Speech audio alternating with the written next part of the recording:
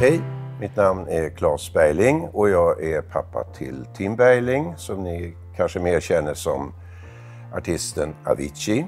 För mig är det väldigt viktigt att arbeta förebyggande för ungas psykiska hälsa.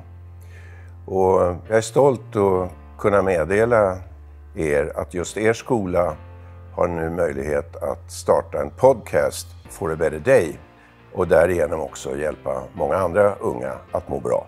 Jag tror att vi kan få fler att upptäcka elevhälsan genom att börja prata om det mer. Att börja eh, få fram och börja introducera folk mer till den mentala hälsan och att det är okej okay att prata om hur man mår och varför man mår så. Vi tycker att Podcast for a better day är ett utmärkt sätt för elevhälsan att bli mer lättillgänglig och bygga en nära relation till eleverna.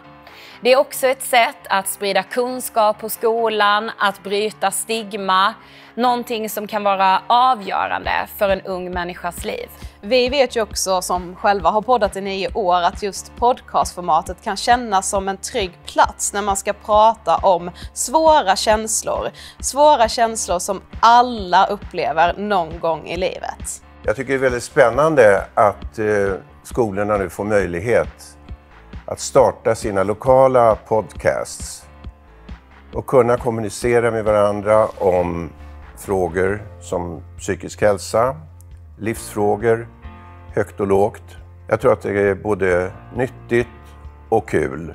Alltså elevhälsan är ju jätteviktig för att eh, våra elever ska må bra, att de känner att de lyckas, att de utvecklas och att man finns där i liksom de mindre bra stunderna men också i de bra stunderna. Och att tänka att alla kanske inte har en vuxen i ens närhet och att vi kan finnas där även fast man kanske inte behöver.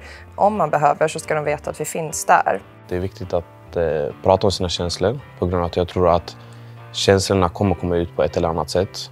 Och jag tror bara att prata om det är det minst destruktiva sättet för det att komma ut. Om du nu pratar om det du känner så kommer folk förhoppningsvis att känna igen sig och då kommer det vara folk som inte känner sig lika ensam i det man känner. Och då kommer folk, ännu mer personer börja prata om det. Och då blir det också en dominoeffekt som gör så att alla börjar prata om sina känslor mer. Vilket kommer bara bli bättre för oss alla. Det bästa är att elevhälsan och eleverna kommer närmare varandra. För tanken är ju att Podcast for a better day ska göras mellan någon från elevhälsan och en eller flera elever. Jag skulle säga att podcast lite är som att vara i ett gruppsamtal utan att du behöver prata.